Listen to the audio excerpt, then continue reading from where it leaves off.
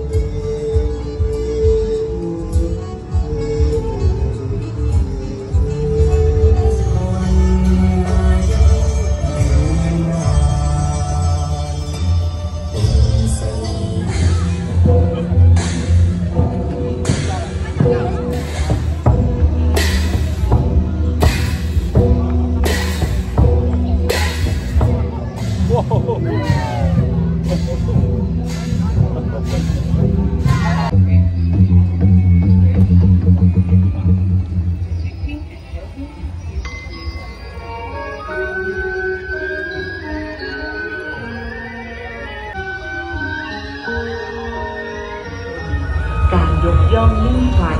แห่งพระมหากษัตริย์องค์ที่สิบ แม่น้ำปิ่งด้วยความมงคลแห่งพญาจักรพรรดิราช โดย A local legend widespread in every region of Thailand. Some call it the legend of the white crow. In some areas, it may have different names. In some northern regions, บริเวณโดยรอบรองรับเอาไว้ด้วยพญาอนันตนาคราช เหล่าสัตว์ป่าหิมพานต์น้อยใหญ่ นอบน้อม เชื่อทางพระพุทธศาสนา เพราะเชื่อกันว่าพระอุปคุตสามารถปกป้องคุ้มครองกันภัยจากมารต่างๆได้ เพื่อไม่ให้มาทำลายพิธีทางศาสนา อันเป็นหัว